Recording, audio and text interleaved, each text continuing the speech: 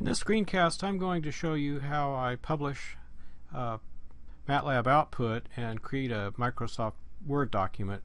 Now there is there are some options for output to Word from MATLAB uh, publishing but it's a little bit quirky on the way it works um, depending on your version of Word and how you've got it configured. So I'm going to show you how to publish to HTML and then convert the document to uh, doc. Now I've got the textbook software and you can see the path here that I'm using. Um, I'm going to work with the supplementary examples. I'm also going to show you how you can copy and paste out of that document.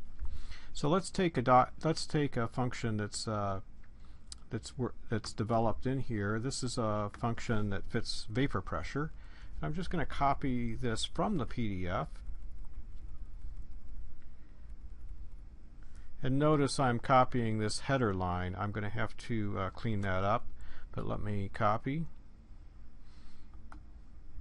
And then I'll create a new script. Script is nice because it's a completely blank document. And then I'm going to look for that line that was the header and clean that out.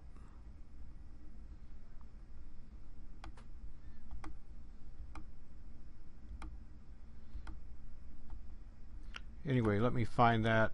Um, also, I'm going to add some cells to this uh, function and then we'll save it. So I'm going to pause the screencast and take care of those things. Okay, I've added some headers uh, with the double percent, or I've added some cells. They will become headers in my published output.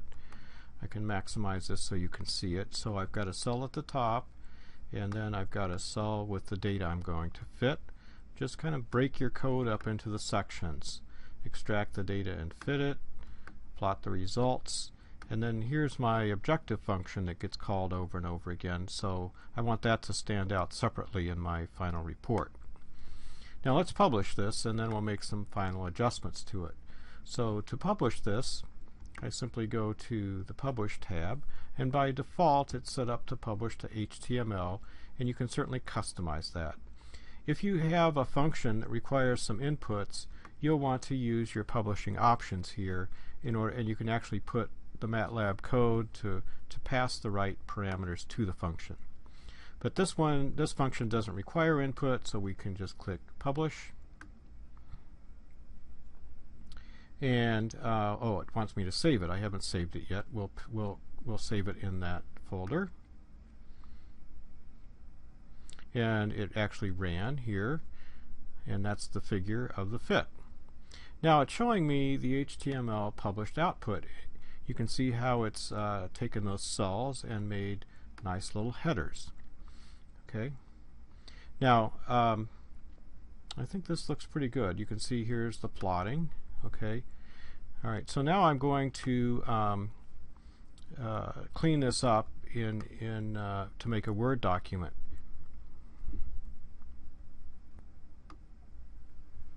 Okay, so the publishing process has created this folder in my MATLAB folder, same up here. Um, it's a folder called HTML that has that document in it. I'm going to right click on it and you can see some uh, PNG figures here and they aren't part of this HTML, they're referenced by the HTML. So I'm going to open this with Microsoft Word. The first time you might have to browse to find Word to tell it to open. Okay, now you'll notice that uh, it's going to actually put like double spaces everywhere because it's HTML and I really don't want that. I'm going to use Control A to select everything and then I'm going to remove the spaces. Alright.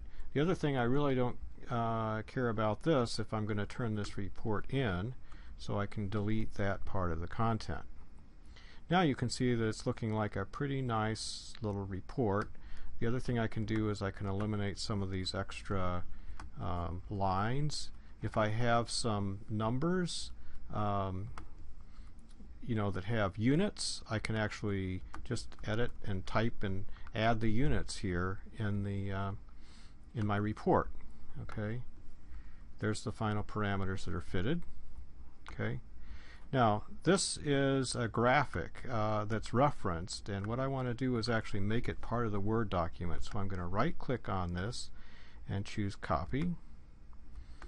And then, uh, this is optional, but I'm going to delete it, and then I'm going to use Paste Special, and I'm going to paste it as an image. Okay, now instead of a reference graphic, it's part of the document.